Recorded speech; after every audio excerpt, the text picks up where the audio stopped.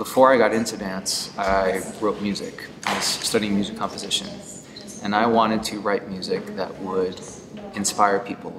There was something about connecting with Mark on the dance floor that brought a whole new level and meaning to movement in a partnership. When I got into dance and choreography and created this company, I wanted to take that idea and tell stories that were bold and people were afraid to talk about and use those stories to inspire change.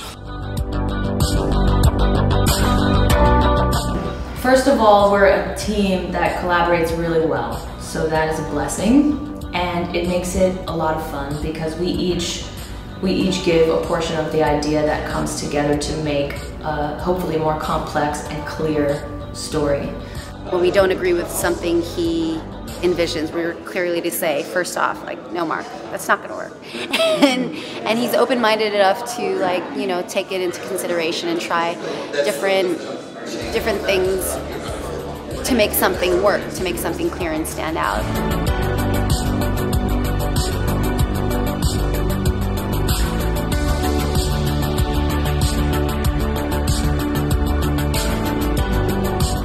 A creative process should be a collaboration. And in a show like this, it is it is a, a, huge, huge show. It's really the size of a, of a big Broadway musical. And so there's no one person that could or should do everything. So we as a team decide what needs to happen and then who's best suited to do what. And then I let them do their jobs. And that's what makes this so special. Because what we're telling is everybody's story. It's not one person's story. And so I think it takes everybody's experience to create that. But we don't just dance for dance sake either. There's always a reason for every little bit of movement.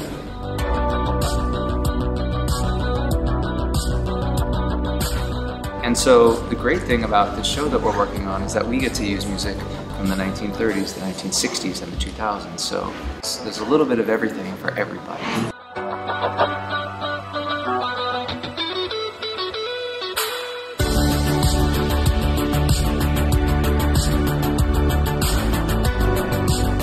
You know, it's, it's a really hard business that we're in, but we do really hard things in a really complicated way because we believe really strongly in why we're doing it and it's to inspire change. What we're going to try to portray is a bit of like a, a utopian moment, like if if these people were able to influence society and we were all together, this is what it would look like for a second. Then we're going to go back into our traffic pattern with our lanes of traffic, very pedestrian, and that is all of you in society saying, great, that's what utopia looks like, I'm not doing that. I'm going back to my ways, I put my hood back on, we go back into traffic.